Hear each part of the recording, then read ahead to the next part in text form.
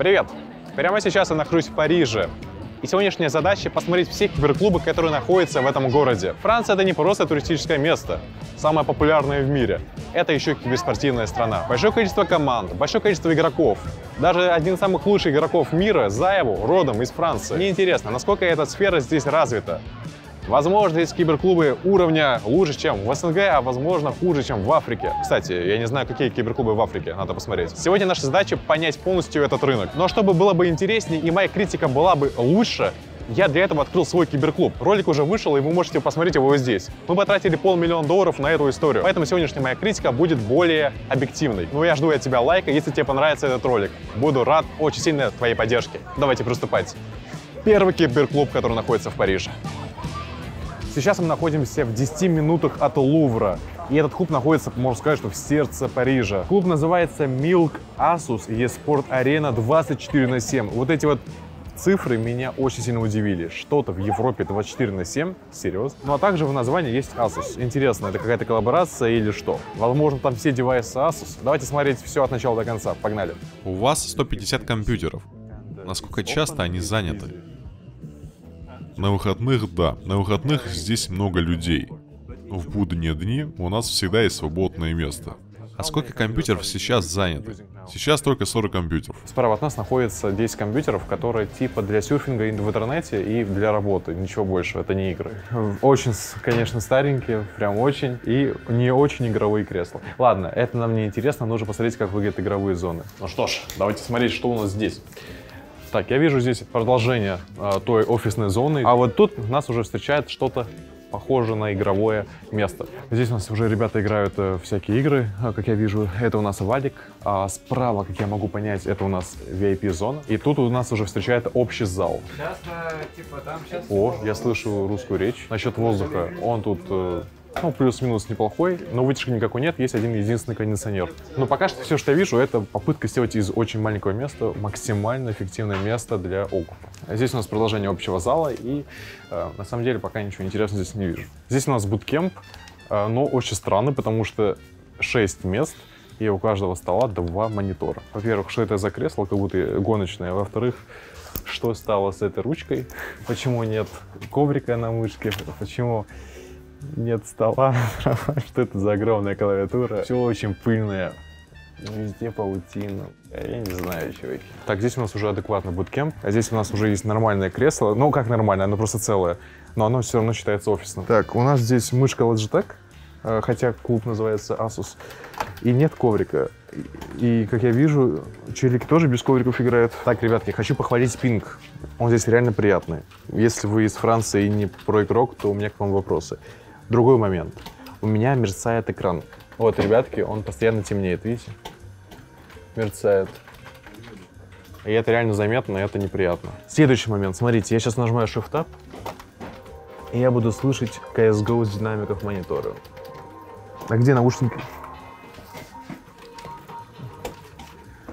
Здесь нет наушников. Короче, ребятки, FPS у нас 400 стабильный. На самом-то деле играть можно. А, играть можно, если забыть то, что у тебя нет коврика, то, что у тебя нет наушников и звук с динамиков, и плюс у тебя стол дергается, потому что кто-то там пинается. А что могу сказать? Э, и прийти поиграть, вот когда у тебя безысходность, где поиграть, можно. Если вы придете со своей мышкой, клавиатурой, э, наушниками и ковриком.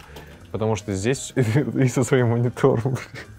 Я не знаю, мне, короче, не нравится, чуваки. Ну, просто от безысходности поиграть можно. Так, ребятки, ну, я думаю, то, что обзор этого клуба закончился. Клуб, который называется в честь Asus, но у них только, только мониторы от Asus. Это очень странное решение, конечно. О, кстати, интересный туалет. Есть женский туалет и мужской. Слушайте, ну, как будто на вокзале, но в целом нормально. Ой, смотрите. Это... Это что такое? Это сенсор? Короче, тут есть еще какая-то комната, похожая на нормальный клуб. Я там вижу нормальные кресла, там есть коврики. Там как будто частичка нормального клуба, а здесь нет. В итоге я понял, что это коллаборация. Это коллаборация другого киберклуба, который решил встроить в этот клуб не особо крутой. Свою комнату, чтобы показать то, что мы существуем. Ну а этот клуб, он просто есть. Он, видимо, здесь уже какая-то легенда. Но, понятное дело, я не рекомендую его. И надо сюда прийти только если у вас безысходность и нужно поработать ночью. Не думаю, что другие клубы работают 24 на 7. Сейчас мы находимся в одной минуте от Лувра. Это просто гениальная какая-то локация. Здесь огромный поток туристов и просто прекраснейший вид. Вы просто посмотрите. А здесь нас встречает киберклуб, который называется eSpot Paris. Так, заходим. И здесь нас встречает админка и турникеты. Это очень интересно. А здесь у нас проектор, где у нас играет Геймер Регион с Героик 13-15. Я уже второй раз пропускаю игры Героик, потому что это неинтересно, они все будут выигрывать. Опять. Сейчас последний раунд для Героики и посмотрим, поддержат ли здесь ребята эту команду. Ситуация 2 в 1 и реакция, реакция зала.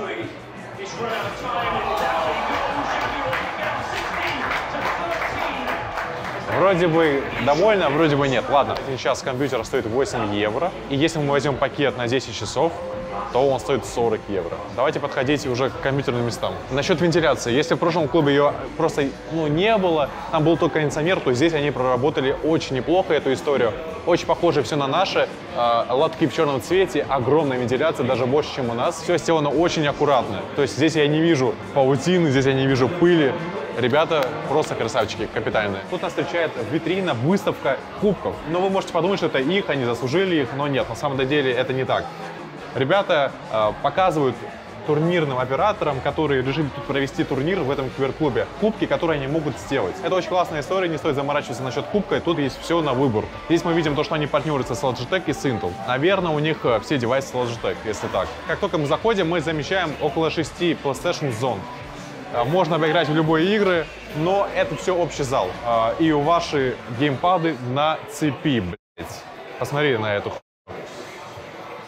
ну, наверное, тут были какие-то ситуации, когда они поняли, что это необходимо. Но выглядит, конечно, очень дико. Но объемы здесь огромные. Очень много людей, очень много а, PlayStation. И а, здесь мы можем заметить как раз-таки тот самый симулятор вождения. Давайте попробуем спуститься вниз. Вау, слушайте, выглядит очень интересно, просто нечто. Это неожиданно круто. Посмотрите на это количество компьютеров. Здесь как будто их больше, чем сотни. Тут запринтированы полностью кресла под eSpot. И очевидно, здесь не только это сделано, но и все само кресло. Компьютеры наверху, но проводов не видно. Я впервые вижу такое исполнение всей этой зоны. Посмотрите. Короче, кресло здесь очень крепкое, очень жесткое, как на табуретке. Но приятная табуретка. Очень приятно сидеть.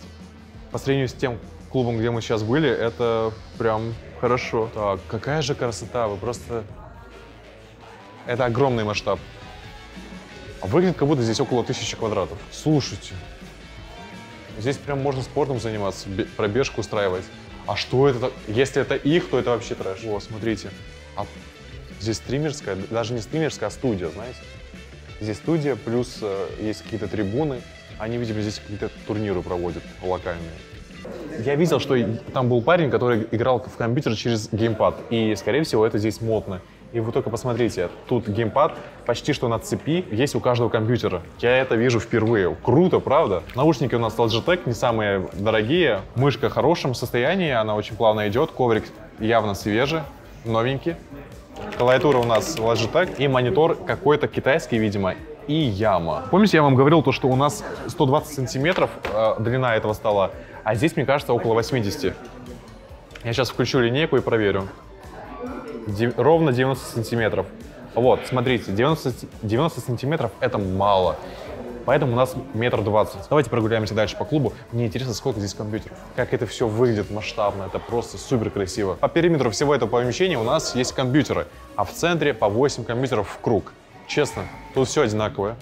Тут все компьютеры, скорее всего, одинаковые. Но мне тут нравится. Вау, смотрите, тут написано, сколько человек сейчас в онлайне. 43 человека здесь. Охуеть просто. Тут такие... А, тут есть свой дискорд. Ты коннектишься, и тут все ребята из клуба.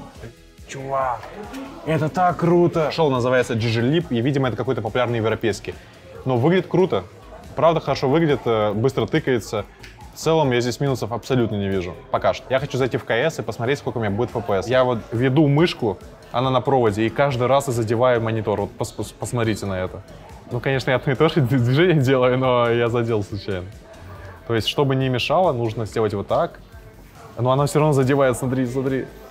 Короче, надо двигать абсолютно очень далеко назад, вот так. И все равно оно здесь. Короче, монитор точно должен быть на кронштейне. Ну а также тут представлен топ-10 игр в eSpot. Первое место Fortnite, Valorant, Fall Guys, Лига и Rocket League. А где CS? Он только на шестом месте. Так, по картинке. Мне она очень нравится. Тут монитор не мерцает, играть приятно. Так, FPS у нас 500, смотря вниз, и 400, если мы играем. Честно говоря, то же самое FPS, который был в прошлом клубе. Но, ребятки, тут очень приятный воздух, здесь его много. Я даю респект этому рабочему месту. Второй этаж. Тут есть еще пространство. Тут у нас PlayStation, диваны удобные. Три человека могут поместиться, играть комфортно. Телевизор у нас около 50 диагонали, но тут красивый вид. Давайте посмотрим, что из окна у нас открывается. Ребятки, из этого киберклуба открывается вид на гребаный Лувр. Посмотрите на этот вид, это просто настоящая Франция. Настоящий Париж. Что я могу сказать про этот киберклуб? Я в целом доволен. Были моменты, которые меня просто убили геймпад на каждом столе, огромное пространство. Очень все аккуратненько, стильненько. И видно, что они вложили сюда огромные деньги и не сильно экономили. Прийти поиграть абсолютно рекомендую, тем более за такие приятные деньги для Европы. Здесь все очень дорого, но это стоит того. И последним нашим киберклубом будет Vitality. Да, вам не послышалось. У организации Vitality, которая выиграла этот мейджор, есть свой киберклуб, где есть и офис, есть и кафе, компьютеры и, самое главное, место, где можно смотреть матчи. Фанатам надо приходить и сделать это в одном месте. Но нужно сделать одну большую пометку. Это не бизнес. Сейчас я вам покажу почему. Пойдем. Только не удивляйтесь, все здесь выглядит странно, потому что они закрыты. Я нашел контакт человека, который отвечает за этот киберклуб, и он ради меня, ради вот этого ролика его открыл и позвал сотрудников. Поэтому, ребятки, с вас определенно лайк. И из-за этого мы будем видеть некоторые моменты. К примеру, мониторы здесь не работают, где-то у нас компьютеры не убраны и так далее. Но у меня просто рейс уже через несколько часов, и они пошли на уступку. Как только мы заходим в киберклуб, мы видим продажу мерча. Все, что связано с Vitality. И на самом деле, я вам скажу так, они очень даже стильные. Э, есть такие э, а-ля топики, я не знаю, что это. Очень приятный цвет у э, штанишек. И скажу вам честно, по материалам как будто не экономят. А здесь вообще коллаборация с Наруто. Ну, одно из самых приятных, что я здесь вижу, это вот эти вот приятнейшие бомберы. Посмотрите, э, как это красиво выглядит. Стоимость такого бомбера 230 евро. Это много, конечно, но зато ты ходишь в лимитированном, скорее всего, и красивом мерче любимой команды, тем более победителя мейджора. В целом молодцы, выглядит все очень красиво и со вкусом. Опять же, смотрите, вот эта вся история только из-за того, что они закрыты и открыты только для нас. Давайте проходить. Здесь мы видим буткемп. И если все киберклубы продают буткемпы, знаете, что сделали Vitality? Не продают. Сюда просто прийти с друзьями поиграть невозможно. Это сделано для профессиональных команд. Здесь сейчас 4 компьютера, но должно быть 5. Опять же, причину вы все знаете. И что самое приятное, здесь у каждого компьютерного места написано имя. Имя игрока Vitality, на котором играет человек. То есть тут написано Дюпри. Это означает то, что на этом кресле, на этом столе играл Дюпри. Справа от меня сидит, кто у нас? У нас сидит Apex. То есть можно давать ему пятюню такую воображаемую. Мониторы у нас все BenQ, Zovi 2546, клавиатура Xtrify. Ну, понятное дело, про игроки сюда приходят и меняют все на свое. M42 у нас мышка Xtrify. И что самое странное, наушники не какие-то там супер игровые, а музыкального бренда JBL. Честно говоря, я уже не в первый раз э, вижу эти наушники, мне они очень нравятся. Они из очень качественных материалов сделаны, хорошая шумоизоляция. И выглядят они неплохо. Но я не знаю, как они в кайсе себя чувствуют. Ну что ж, пойдем дальше. Мы проходим дальше в гейминг-зону. И, наконец-то, мои деньги я смогу здесь потратить, потому что здесь я уже могу покупать часы и играть в киберклубе. Но перед тем, как вы начнете тратить свои деньги, здесь у нас есть все достижения, все кубки а, компании Vitality. Понятное дело, тут все оригинал, и здесь мы видим Blast за премьер Fall Final. Он выглядит, кстати, красивенько. 30 компьютеров. Я посчитал примерно 30 компьютеров. И что самое интересное, тут самая дешевая цена за каждый час. 4 евро. Я спросил ребят, почему так? А им мне ответили, это не бизнес. Мы работаем очень мало по времени. Сейчас у вас на экране их график работы, и вы поймете, о чем я говорю. Вот тут уже ситуация не самая красивая. Какие-то дырочки есть. Мониторы, кстати, пыльные. Мониторы 2411p, то есть это уже не 2546. Но по девайсам тут такой же стандарт. Но в целом, когда люди делают это не для бизнеса, я думаю, что и упрекать их не за что. А справа от меня есть проектор. И как мне сказал управляющий, вот, к примеру, сегодня или завтра у них будет какой-то плей-офф в Лоле вроде бы. И они уберут все эти компьютеры, поставят мешки, кресла, и все будут смотреть этот матч вместе с фанатами и вместе с управляющими в этой организации. А что тут потеряли управляющие? У них есть офис на верхнем этаже. Нам не разрешили туда подниматься, но весь штаб, который есть в Vitality, он наверху. Все в одном месте. То есть я могу сделать вывод, что организация Vitality работает 7 часов в день. Что-то мало, да? Здесь у нас кафешка. Не путайте с кухней, здесь нет э, каких-то сложных заготовок, продаются снеки, напитки и тому подобное. Ну а сзади меня находится единственный PlayStation, который есть в этом киберклубе. Окей, здесь у нас в итоге 30 компьютеров, здесь у нас ачивки, но есть еще нижний этаж. И давайте я вам его покажу, он интересный. У меня есть для вас розыгрыш. Я прикупил себе рукава, и один из рукавов я разыграю среди вас. Это коллаборация Наруто и Виталити. Но также мы получили наклейки, стикеры, которые прям копия КС. Рукав я разыграю в своем телеграм-канале. Розыгрыш уже активен и осталось ровно неделя, поэтому заходи и подписывайся. А наклейки вы сможете получить в киберклубе Сабершок Премиум в Тбилиси, просто назвав промокод Виталити на админке. У нас осталось их 38 штук, поэтому спеши. Ребятки из Vitality сделали просто место, где находятся их фанаты, где они общаются. Вот сейчас наверху я слышу собеседование, то есть кто-то приходит, общается с, с организацией прямо здесь. Это удобно, это очень удобно вместо каких-то ресторанов и э, больших офисов. Здесь у нас большая конференция, там у нас находится кухня для сотрудников, мы ее снимать не можем. Кстати, очень красиво смотрится. Я купил очень много футболок, и я думаю, то, что можно расставить вход в киберклуб вот таким образом. Я купил футболок на 1000 евро, вы помните это? Так, ну что, заходите. Сейчас я вам покажу кинотеатр. Здесь ребята из Vitality делают собеседование, как мы сказали, и смотрят что-либо на таком большом проекторе. Это домашний, это офисный кинотеатр. Они сделали классную историю на самом деле. За 4 евро ты можешь поиграть в компьютер, хоть и мало по времени, 7 часов в день, но в любом случае. Ты можешь как фанат Vitality прийти, поиграть, увидеть таких же людей, как ты, и кайфануть. Если тебе понравился этот ролик, не забудь, пожалуйста, подписаться на канал, если ты это еще не сделал ранее. Все ссылочки на меня есть в описании этого ролика, но я тебе советую посмотреть вот этот ролик, который у тебя на экране. Он тебе понравится. Пока.